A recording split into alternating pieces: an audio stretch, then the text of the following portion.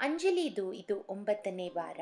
ಅವಳ ಸ್ವಲ್ಪ ಹೆಚ್ಚಾಗಿದೆ ಮತ್ತು ಅವಳಿಗೆ ಹು, ಹುಳಿಯಾದ ಚಟ್ಪಟ ಇದ್ದ ತಿನ್, ಎಲ್ಲ ತಿಂಡಿಗಳು ತಿನ್ನಬೇಕೆಂದು ಬಯಕೆ ಇದೆ. ಅಂಜಲಿ ಡಾಕ್ಟರ್ ಹತ್ತಿರ ಹೋಗುತ್ತಾಳೆ. ಡಾಕ್ಟರ್ ಈ ವಾರ ಒಂದು ಸೋನೋಗ್ರಾಮ್ ಮಾಡುತ್ತಾರೆ. ಅಂಜಲಿ ಅಂಜಲಿ ತನ್ನ ಚಿನ್ನಾರಿಯ ಹೃದಯದ ಹೊಡೆತವನ್ನು ಮೊದಲನೇ ಸರಿ ಅಲ್ಟ್ರಾಸೌಂಡ್ ದ್ವಾರ ಕೇಳುತ್ತಾಳೆ. ಅಂಜಲಿಗೆ ಇದು ಕೇಳಿ ತುಂಬ ಸಂತೋಷವಾಗುತ್ತದೆ. ಗರ್ಭಧಾರಣೆದು ಇದು ಈ ಸಮಯ ಬಹಳ ಸಂತೋಷವಾದ ಸಮಯ. ತನ್ನ ಮಗು ವೇಗವಾಗಿ ಬೆಳೆಯುತ್ತದೆ. ಹಾಗೆ ಕೋಶಗಳ ಚೆಂಡಿನಿಂದ ಇದು ಋಣು ಎಂದು ಹೇಳುತ್ತಾರೆ.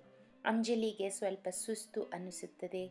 ಇದು ಯಾಕಂದರೆ ಮಗುವಿನ ಬೆಳವಣಿಗೆಗೋಸ್ಕರ ತಾಯಿಯ ಶರೀರ ತುಂಬ ಕೆಲಸ ಮಾಡುತ್ತದೆ. ಇದರಿಂದ ಕೆಲವು ಸಮಯ ತಾಯಿಯ ಬ್ಲಡ್ ಪ್ರೆಷರ್ ಹಾಗೂ ರಕ್ತದ ಸಕ್ಕರೆಯ ಪ್ರಮಾಣ ಕಮ್ಮಿ ಆಗಬಹುದು.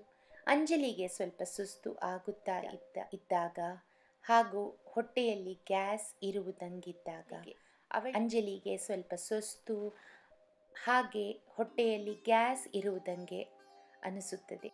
ಇದು ಯಾಕಂದರೆ ತಾಯಿಯ ಜೀರ್ಣ ಶಕ್ತಿ ಹಾಗೆ ಜೀರ್ಣ ಆಗೋ ಸಮಯ ಕೂಡ ತುಂಬ ಹೊತ್ತಾಗುತ್ತದೆ ಇದು ಬೆಳೆಯುವ ಮಗುವಿಗೆ ತಾಯಿಯ ಆಹಾರದಲ್ಲಿದ್ದ ಪೋಷಕ ತತ್ವಗಳೆಲ್ಲ ಅವಳ ರಕ್ತದಲ್ಲಿ ಕುಳಿತು ಹಾಗೆ ಮಗುವಿಗೆ ಮೆಲ್ಲನೆ ಕೂಡುತ್ತದೆ.